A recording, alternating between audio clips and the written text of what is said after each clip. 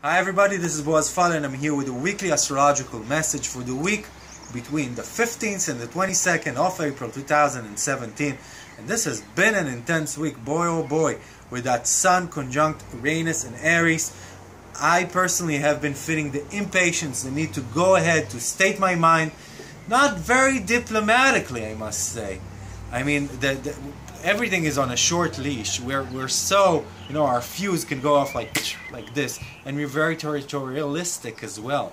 So um, we still have this going on uh, in the coming week. So everybody, take it easy.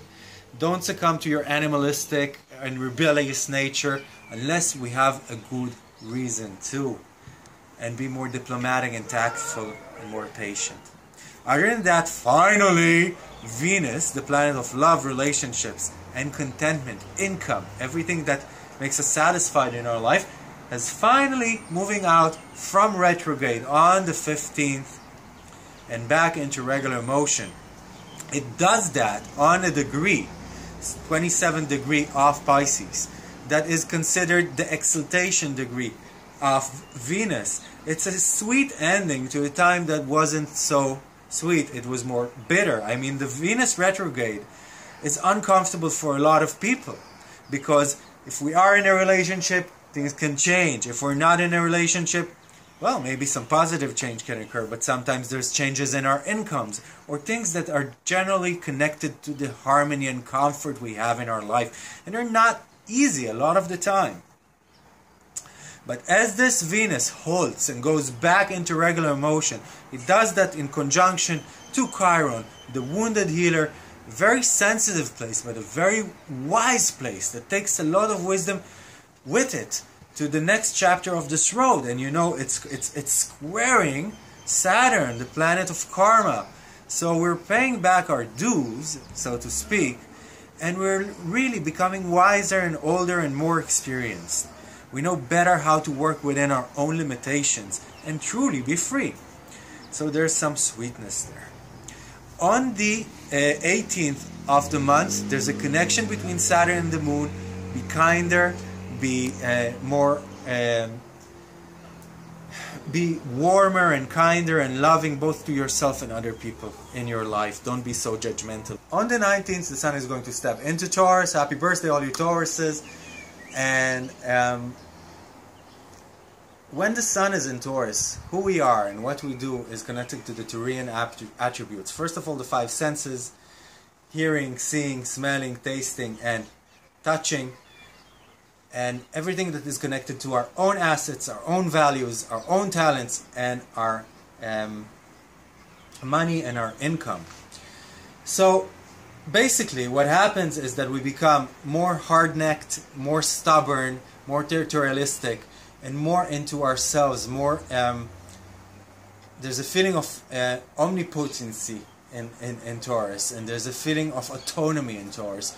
And we need to be careful not to keep other people out and to really let people in, not to be our own island, so to speak. But there's also something very beautiful because we're connecting to an inner essence that is beyond any current trend, it's beyond any current time, it's beautiful and aesthetic and harmonious whenever and wherever. On the 20th, Mercury is going to be in Cazimi, in the heart of the sun.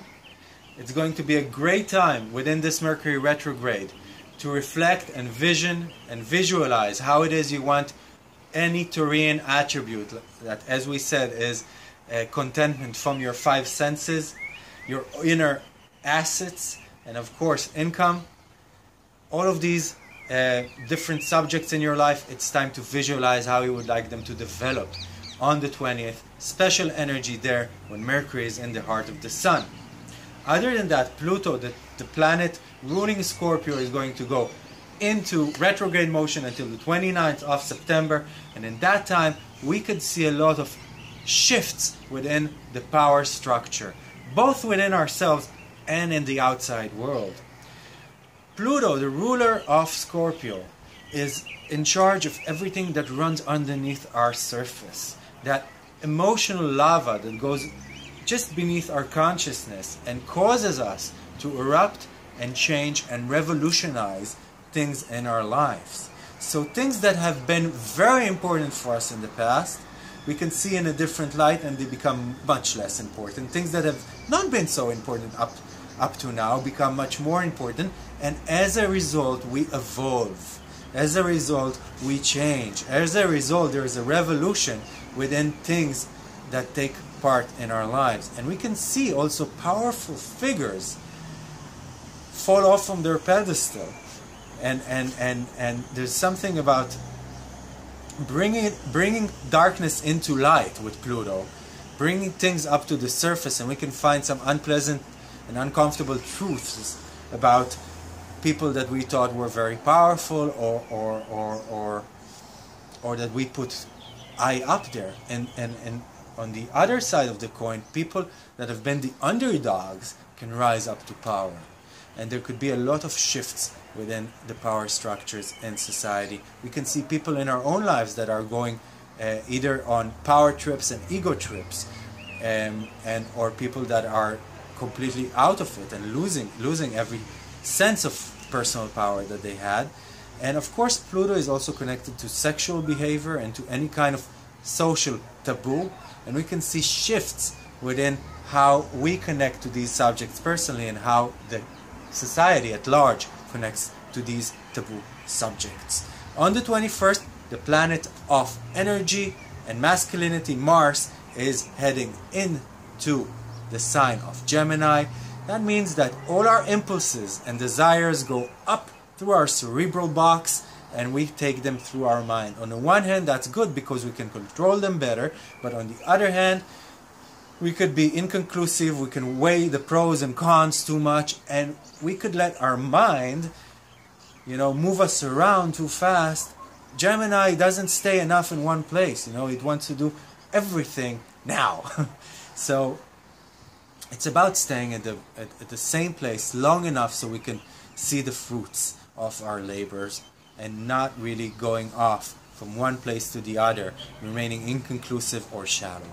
That's about everything for this week. Ah, one more thing on the 19th, the 20th, and the 21st, if I'm not mistaken, there's a connection between the moon, Pluto, or uh, Mars. It's a time that we should be nicer.